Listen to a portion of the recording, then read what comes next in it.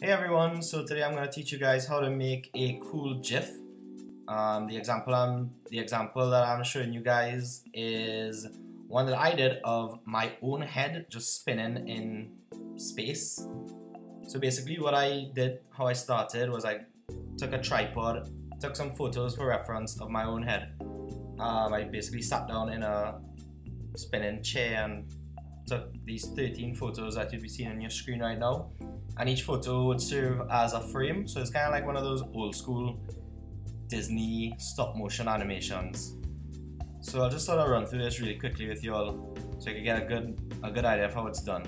Once I have the photos here I created individual artboards in Illustrator.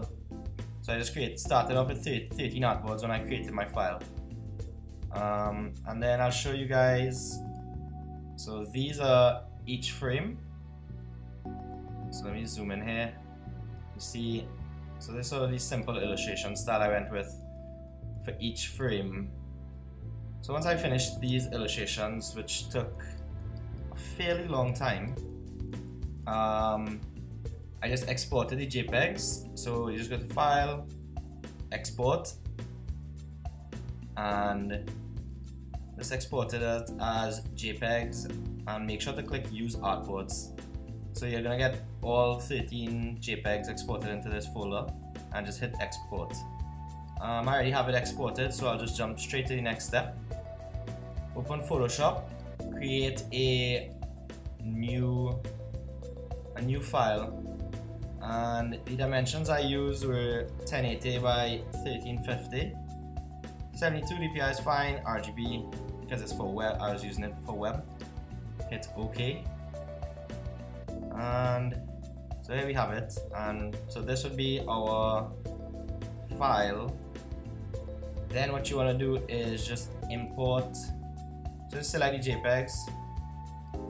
Drag them into your Photoshop file.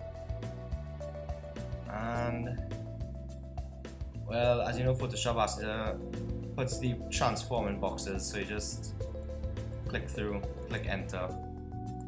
Boom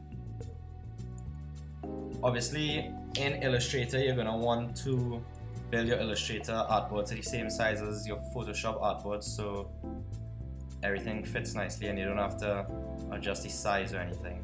So what I usually do is just delete the background layer, right click on it, hit delete layer, delete layer 0, yes. So now you wanna animate this and get your get your animation. So you're gonna hit window timeline. So you're gonna get this nice little timeline feature that Photoshop has. Okay, you're gonna wanna click create frame animation. Once you click that, you see just the top layer would come up. So what you're gonna wanna do is click make frames from layers. And now you have layer one would be the first frame, layer two, the second frame, and so on. So it all corresponds. So if you hit play, Alright, you see it would play once. Boom. We uh, get in there. So, what you're gonna wanna do is where it says once, click and put forever. So now it runs forever. And you can also decide for how long you want each frame to be. I put it at no delay so it has a nice smooth run, I guess. You it for 0.2 seconds, let's see how that goes. So it's a little more stop, start, stop, start. So I think no delay would probably be best for this. You can see how nicely and smoothly it runs. So once you once you have this, it's pretty simple. You just file and then you're gonna wanna go to